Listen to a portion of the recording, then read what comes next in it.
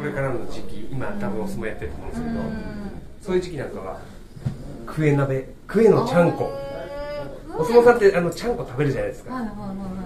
クエのちゃんことか、クエの鍋を楽しむのがもうすごい一年の楽しみらしいです、はい。クエのちゃんこです